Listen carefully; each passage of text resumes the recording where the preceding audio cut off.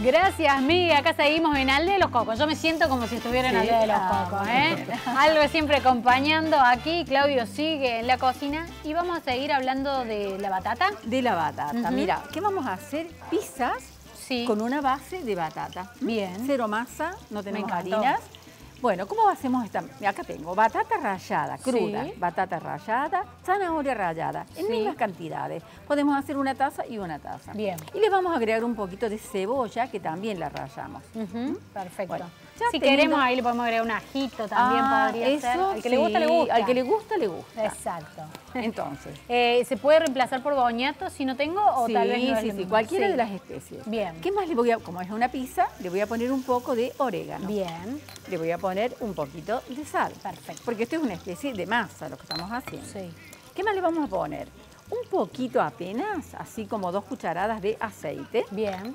Y empiezo a unir. Vamos a unir.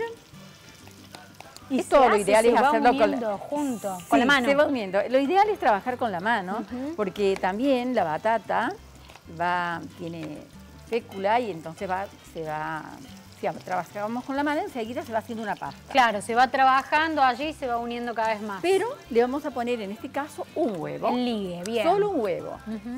Si vemos que esto está muy sequito, que necesitamos más, bueno, podríamos poner un huevito más. Claro, porque depende un poco del tamaño del huevo. ¿no? Claro, a veces los huevos son muy pequeños o a veces la taza que usamos para Sí. medir la batata y la zanahoria era muy, era muy grande, ¿no? ¿Qué tacita usaste vos? Una de... Yo usé una taza de desayuno de más o menos 200 centímetros. Es grandecita. Bien, grandecita. la, la típica que usamos tal vez para el café con Para leche. el café con leche, exacto. Bueno, ves que ya, bueno, obviamente Sí. al echarle el huevo ya está bien unido. ¿Qué vamos?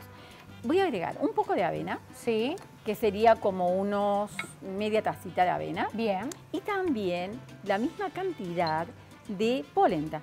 Mira, otra, eh, apareció por segunda vez en la semana la polenta, que uno cree que pasa el invierno y no la usa más a la polenta, y está acá presente. Porque ¿eh? es nutritiva, porque acá además de, de todo lo que, que hemos hablado ya de la batata, de todo lo, lo bueno que tiene, la polenta también tiene todo mucho, mucho bueno para, para contar. ¿Ves? La pasta la tenemos más o menos.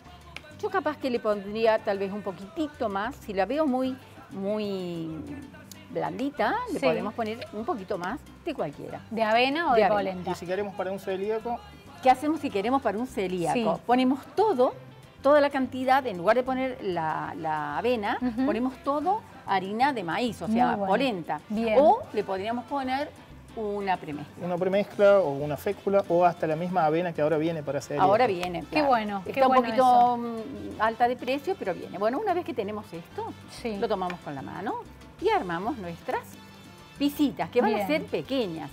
Y eso puede ir tranquilamente al, horno. al horno, Esto ¿no? va al horno, sí, esto se cocina en el horno. Sí. También la podemos cocinar en una sartén.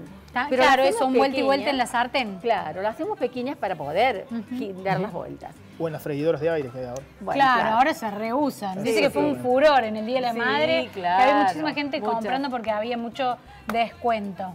Mira, Bien. acá la tengo, ya la doré bien. Sí. Cuando la dorás... Hay que dar la vuelta en el la- horno, la- ¿sí? Sí, sí. Sí. La dorás bien de, de- de una, de uno de los lados, la das vuelta. Sí. A esta hora la tengo que dar vuelta, ¿no es cierto? La, volvemos a dorar Sí. de ambos lados. Arriba le ponemos una salsita de tomate y el queso que deseamos. Bien. Si es un, es un ¿Vegano? vegano, ¿qué le vamos a poner? Hay queso para vegano. Bien.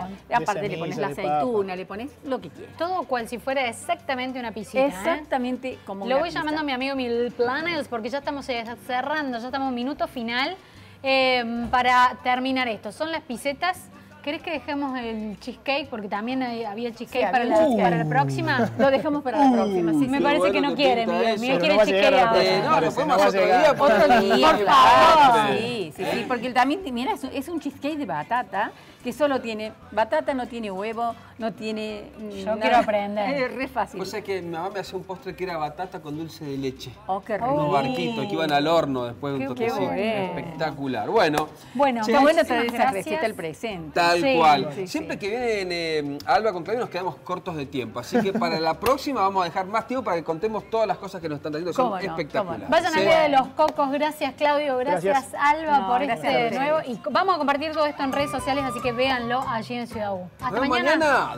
Chao. Gracias. Yo vengo